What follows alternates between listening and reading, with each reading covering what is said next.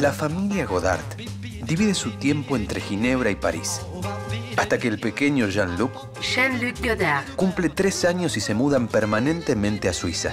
De chico, era un gran esquiador y un talentoso arquero de fútbol. Su mamá, Odile, lo llevaba junto a sus dos hermanos a numerosos conciertos y al cine. Pero repentinamente, por motivos morales, la protestante familia Godard deja de ver películas. La prohibición no iba a durar mucho para el joven Jean-Luc Godard. En 1941 visita a sus abuelos en Francia para consolarlos por la muerte de un hijo en la guerra. El viaje coincide con la capitulación de Francia frente a Alemania. El joven futuro cineasta queda imposibilitado de regresar a su tierra, pasando seis meses en la Vichy ocupada. Más precisamente, en sus cines. Miraba los reels de noticias alemanes y franceses, en los que a menudo había una misma banda de imagen, con una diferente banda sonora.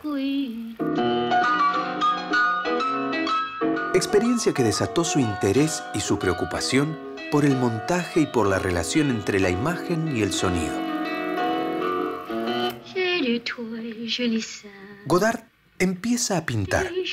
Su madre realiza una muestra de sus cuadros y frente a la pregunta de su hermano sobre el porqué de la presencia dominante del azul en todas las obras, Godard, que ya era Godard, responde, porque solo tenía azul. Sobre el fin de la guerra, comienza a, a robar pequeñas sumas de dinero y objetos de poco valor, con un notable poco talento. Sus amigos no pueden descuidarse porque en cualquier momento Godard les vacía los monederos. En 1952, los Godard se separan. La madre se muda a París, pero el padre, paranoico por el comienzo de la Guerra Fría, decide mudarse a un lugar que estuviera libre de amenazas atómicas. Abre una clínica en Jamaica. Jean-Luc viaja con él y desde allí realiza una larga travesía por Sudamérica, con estadías en Panamá, Río de Janeiro, Perú y Santiago de Chile. A pesar de haber pasado una buena temporada en lugares que no conocía, el joven futuro director prácticamente no salió de su habitación. Se dedicó a la lectura. Finalmente regresa a Francia y su padre decide ayudarlo una vez más, pero esta acción lo termina llevando a la ruptura total con su familia. Consigue para su hijo un trabajo en la construcción de una represa en los Alpes. Durante un tiempo, Jean-Luc Godard rueda un documental sobre esta construcción, proyecto que constituiría su primer film. Opération Béton. Pero termina siendo echado y enviado a prisión por robar dinero. Luego de unos días encarcelado, su padre lo envía a un hospital psiquiátrico donde pasa tres meses. Su madre muere al poco tiempo en un accidente en su nueva Vespa y Jean-Luc Godard no acude al funeral. Nuevamente de regreso en París, aplica para ser estudiante de la principal escuela de cine de la ciudad y es rechazado. Pero su formación teórica se intensifica gracias a los ciclos de cine que se realizan en la Cinémathèque de la mano de Henri Langlois y en los cines del barrio latino. En estos círculos conoce también a Jacques Rivette. Claude Chabrol. François Truffaut. con quienes acostumbra ver entre tres y cuatro películas por día.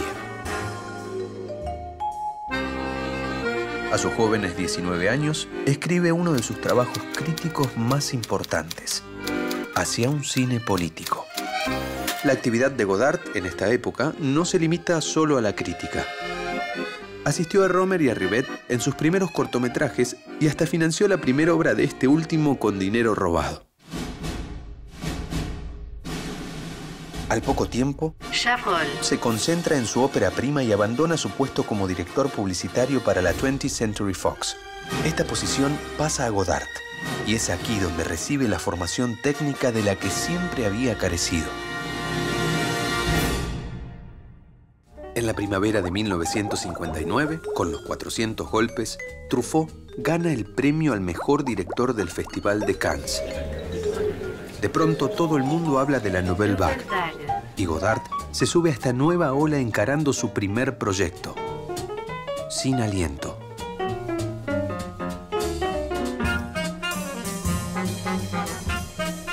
El rodaje comenzó en el verano del 59. Con Raúl Cutar como DF y camarógrafo, lograron producir una imagen similar al documental. El primer corte de la película tuvo una duración de dos horas y media que confrontaba con el pedido del productor. Entonces Godard comenzó a eliminar planos y partes de planos, creando el moderno recurso del jump cut. También la película está plagada de citas, algo que Godard no abandonará nunca al igual que su mal genio, el socialismo, el amor fu y su cine, siempre a la vanguardia.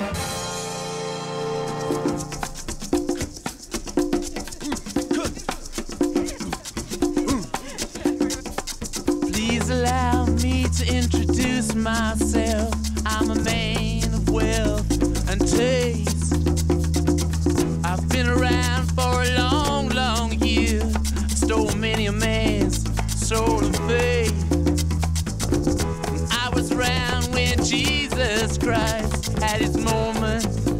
doubt and pain. Made damn sure the pilot washed his hands and sealed his face. Pleased to meet you.